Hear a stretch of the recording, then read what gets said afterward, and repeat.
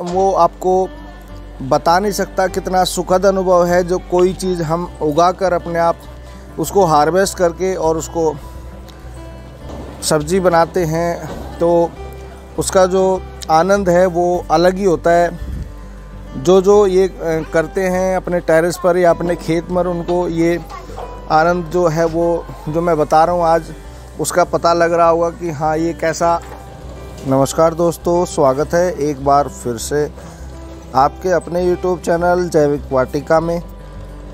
और आज का जो वीडियो है हमारा, वो हमारी जो पिछले एक महीने की मेहनत चल रही थी, उसके रिज़ल्ट को दिखाने का है कि हमने जो पिछले एक महीने में अपना किचन गार्डन तैयार किया था और उसमें जो सब्ज़ियाँ उगाई थी हमने, उनकी अपडेट का वीडियो है ये।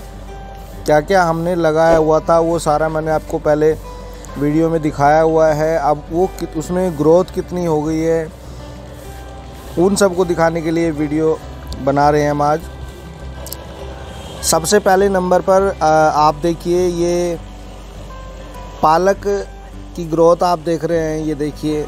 और जैसे सर्दियों का मौसम जैसे चल रहा है और आगे और आने वाला है, इसमें सबसे ज़्यादा जो सब्ज़ी बनाते हैं, वो होती है साग और मक्के की रोटी।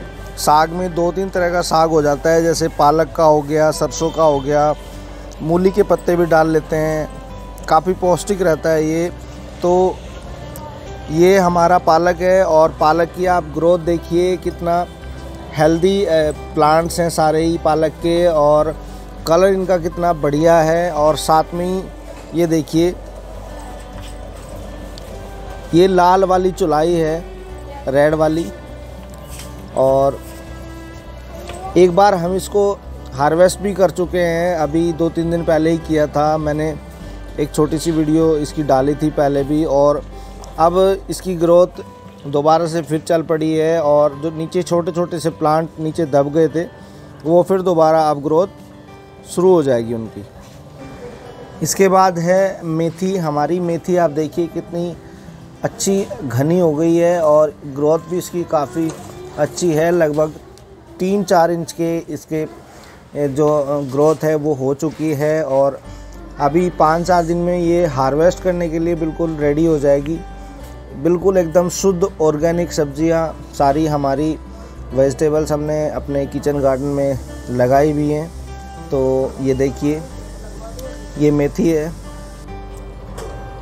इसके बाद ये हमारी सरसों है। मैं बात कर रहा था अभी पालक की, उसके बाद ये, देखिए सरसों भी काफ़ी बड़ी बड़ी हो गई है। हालाँकि ये कुछ थोड़े लेट हमने इसको लगाया था, लेकिन उसके बाद भी इसकी ग्रोथ काफ़ी अच्छी हो गई है। और नीचे का जो पूरा सेक्शन हमने लगाया हुआ है, ये देखिए, ये सारी की सारी ही फूल गोभी और ब्रोकली हमने लगाई हुई हैं। इसमें कुछ पौधे फूल गोभी के हैं और कुछ पौधे ब्रोकली के हैं। इनकी भी ग्रोथ आप देखिए। इनकी हमने पहले स्टेडलिंग ग्रो की थी, उसके बाद इसको लगाया हुआ है और इनकी ग्रोथ काफ़ी अच्छी चल रही है। ये देखिए। इसके बाद ये देखिए, ये चना है।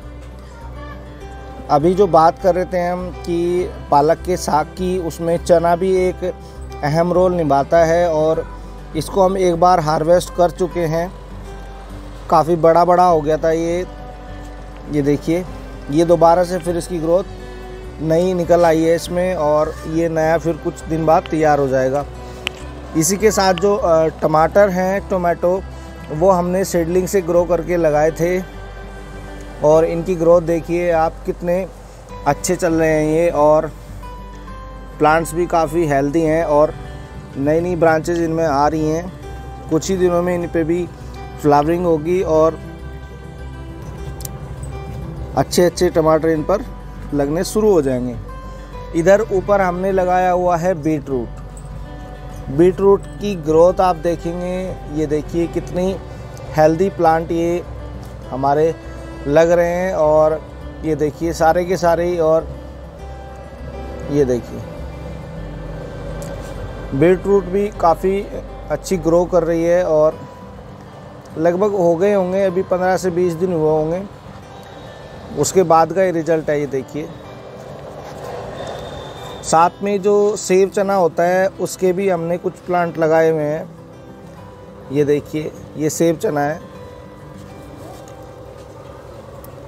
और सेब चना की ग्रोथ भी काफ़ी अच्छी है और प्लांट काफ़ी हेल्दी हैं। ये सारे के सारे जो हमने लगाए हुए हैं, जितनी भी अपनी सब्ज़ियाँ हैं, पूरी तरह से ऑर्गेनिक हैं, किसी तरह का कोई पेस्टिसाइड हमने नहीं डाला हुआ है इनमें। केवल नॉर्मल गोबर की खाद है, पुरानी वो डाली थी और नॉर्मल गार्डन सोइल, दो ही चीज़ें डली हुई हैं। इसके बाद हम इनमें अभी थोड़ा सा फर्टिलाइज़र कुछ दिन के बाद देना शुरू करेंगे। लिक्विड फर्टिलाइज़र देंगे, उसके बारे में आपको आगे बताएँगे। फ़िलहाल इनकी ग्रोथ देखिए आप, कितनी अच्छी है और इधर साथ में ही आप देखिए, ये कुछ मटर के प्लांट्स हैं। मटर पे जो फूल है, वो आ चुका है। ये देखिए, जितने भी प्लांट्स हैं, सभी पूरे हेल्दी हैं और फ्लावरिंग बिल्कुल शुरू हो गई है सारे के सारे प्लांट्स पर। और इसकी बाढ़ करने के लिए, क्योंकि इसकी बेलनुमा चलती है तो हमने ये स्टिक इनको सारा दिया हुआ है, उसके सारे ये आगे ग्रोथ करेंगी। ये देखिए। तो इस तरह से इनकी ग्रोथ काफ़ी बेहतर है और अच्छा लग रहा है मुझे। इधर दोस्तों, ये दो प्लांट ब्रोकली के हैं। ये कुछ थोड़ा सा पहले लगाए थे हमने। इनकी जो सैपलिंग है वो लेकर आया था मैं मार्केट से और इनकी ग्रोथ भी आप देखिए। काफ़ी बड़े बड़े हो गए हैं दोनों प्लांट ये देखिए। अब उसके बाद इधर आते हैं हम। इधर एकदम कितना घना ये हो गया है इधर पूरा और ये जो पूरा का पूरा मेरा कैरेट है, इसमें मूली है सलजम है और गाजर भी लगाई थी हमने बीच में दो लाइन हमने सोचा था कि दो दो लाइन करके लगाते हैं, लेकिन जो गाजर है, वो नीचे दब गई है और मूली जो है, ये देखिए, ये गाजर का भी प्लांट है। मूली की ग्रोथ इतनी अच्छी हुई कि गाजर जो है, उसके बीच में नीचे रह गई है और उसकी ग्रोथ इतनी अच्छी नहीं हो पाई है। तो मैं अब ये सोच रहा हूँ कि इनको, ये देखिए, मूली है। अब इनको मैं थोड़ा सा सेपरेट करूँ। इसमें से कुछ जो प्लांट हैं मूली के, वो अलग कर देता हूँ। इनको थोड़ा ये घरने से हल्के हो जाएँगे और उसके बाद जो हमारे अंदर इसमें गाजर के प्लांट हैं, वो थोड़े ऊपर निकल के आएँगे। तो ये गाजर हो गई। इसके बाद ये साइड में ही मूली थी और इधर मैंने ये लगाई हुई है सलजम आज ही हमने जो सलजम के पत्ते हैं, वो इनमें से हटा दिए हैं क्योंकि इसमें भी उसी तरह से पूरा घना हो गया था और नीचे हवा तक नहीं निकल लग पा रही थी तो इस वजह से इसमें हमने हल्का हल्का इनको कर दिया है। और ये प्लांट आप देखिए, ये गाजर हमारे इसमें कुछ 10-15 बचे हुए हैं अभी।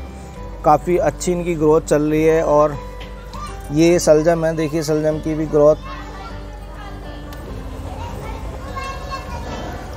इतनी खुशी हो रही है आज मुझे आपको दिखाते हुए, बताते हुए कि हमने जो एक मेहनत की थी और उस मेहनत का ये फल है और फल बहुत ही मीठा है, स्वादिष्ट है केमिकल फ्री है, किसी तरह का कोई केमिकल इसमें नहीं डला हुआ है।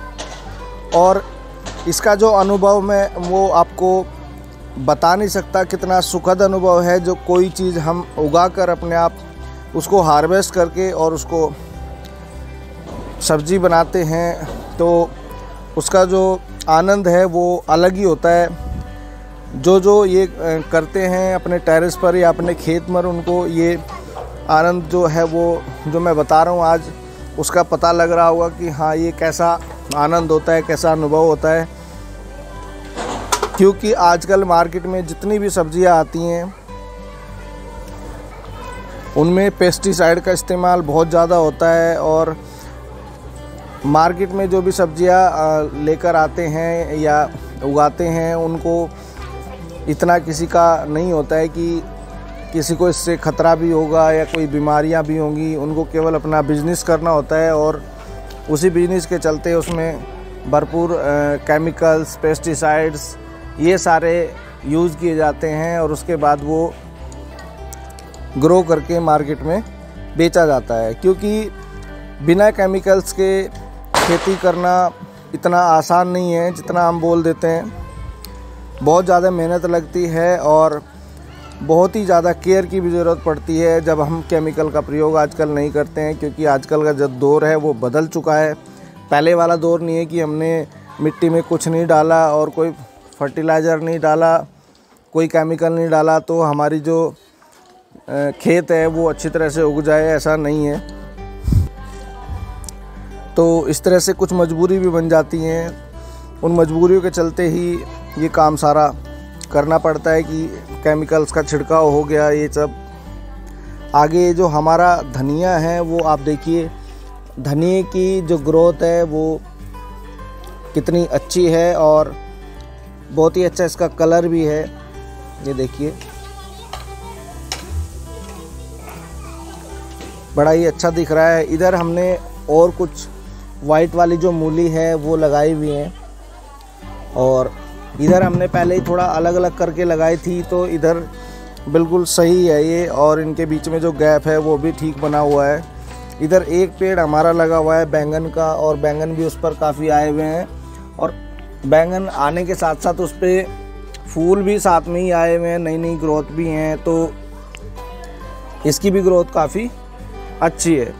इधर हमारे पास एक पेड़ मिर्च का है और इस पर पूरे साल भर मिर्च लगी रहती हैं। पिछले दो साल से हमने मार्केट से कोई भी मिर्च खरीदी नहीं है। केवल ये एक दो पेड़ी हैं जिनसे हमारे पूरे किचन का जितना भी मिर्च की ज़रूरत है, वो पूरी होती रहती है और ये मिर्च भी काफ़ी टेस्टी वाली मिर्च है। इनका जो टेस्ट है वो काफ़ी अच्छा है साइज़ इनका थोड़ा छोटा होता है, ये देखिए। कुछ पक भी गई हैं इसमें, लेकिन इनका टेस्ट बहुत अच्छा होता है। ये इसमें भी काफ़ी मिर्च आए हुई हैं। तो ये मेरा अपडेट वीडियो था और आगे भी हम आपको ऐसे ही अपडेट देते रहेंगे अपने किचन गार्डन के बारे में। ये देखिए। तो आप कमेंट करके बताएँ कि आपको ये वीडियो कैसा लगा।